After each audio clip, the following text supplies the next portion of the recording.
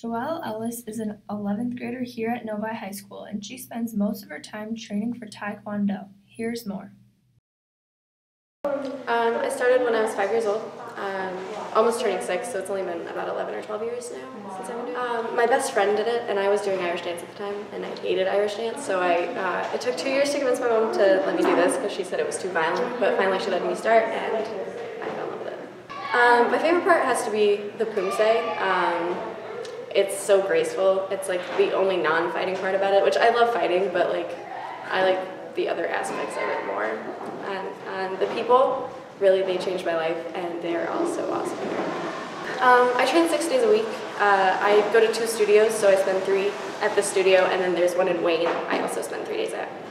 Um, so it took me four and a half years to get my first degree black belt, and then with each rank, um, you have to wait the number of years of the next one.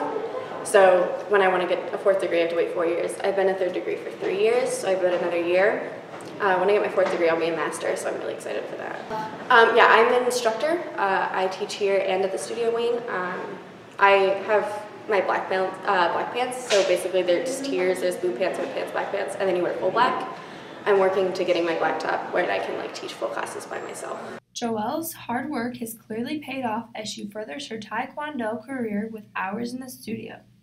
I'm Lexi Whalen alongside Anna Mizerowski for the Cat's Eye News.